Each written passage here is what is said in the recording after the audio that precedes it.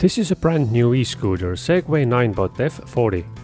I accelerated to the 25 km per hour and then pressed the brake as hard as I could. And the stopping distance was about 7.5 meters. For me, the stopping power was not good enough. The disc is not exactly in the center between those two braking pads. I think I could improve the brakes by just simple brake adjustments. By this Allen key, let's slightly undo those two bolts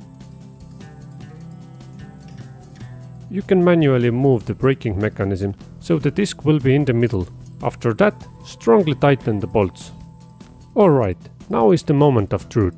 Let's do the same test again.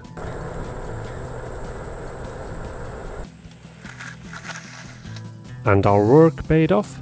We managed to stop the scooter within 4 meters and 60 centimeters.